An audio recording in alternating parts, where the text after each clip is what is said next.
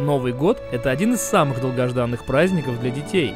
В это волшебное время они наполняются радостью и нетерпением, ждут прихода Деда Мороза и верят в чудеса. Накануне Нового года и Рождества можно на время стать настоящим Дедом Морозом и исполнить мечты мальчишек и девчонок из Свято-Алексеевской пустыни.